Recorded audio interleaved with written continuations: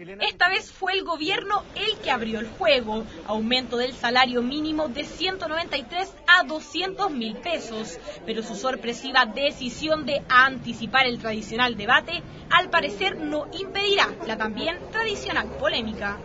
Se ha reafirmado un carácter de intransigencia y tosudez, donde al parecer no existe voluntad por parte de la autoridad de debatir con los trabajadores y trabajadoras. Ayer no se presentó eh, representantes de la CUT, no se presentó a pesar de haber sido invitado. Nosotros mantenemos las puertas abiertas, pero si ellos no quieren participar, nosotros tenemos que seguir adelante.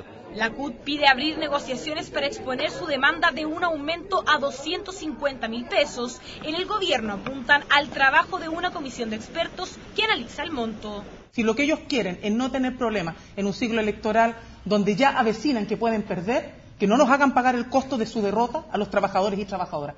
En el oficialismo indican que en el Parlamento podría haber un margen para aumentar. La cifra de 200 es, un piso, eh, es lo que se pidió hace ocho meses.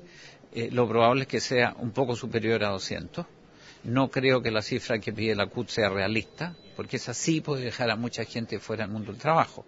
La oposición se apresta para la tramitación que tiene discusión inmediata, pero dice que hay segundas y acaso terceras intenciones en el proyecto presidencial. La novedad fue que adelantó esta discusión para marzo el presidente de la República, pero en esta materia, pero lo hizo conjuntamente con un paquete electoral.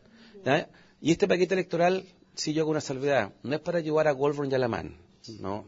Este es el bono del presidente Piñera para su reelección en el 2017. Todo es insuficiente. Nada es suficiente. Todos los esfuerzos que hacemos son pocos, aunque sean muchísimo más de lo que hicieron ellos. Se espera que esta semana el proyecto ingrese al Congreso. La CUT llamó a sus organizaciones afiliadas a estar alerta y no descartan movilizaciones. Flavia Cordella, CNN Chile.